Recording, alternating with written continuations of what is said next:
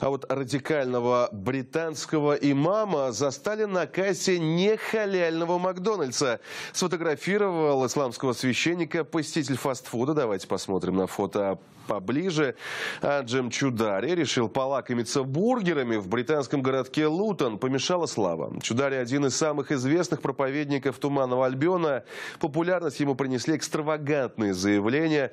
Мягко говоря, открытая ненависть ко всему западному на словах, но на деле этого как-то вот не, не особо чувствуется. В своих лекциях имам призывал прихожан поддерживать запрещенную в России террористическую организацию ИГИЛ, а также ехать в халифат, оккупированную боевиками часть Сирии.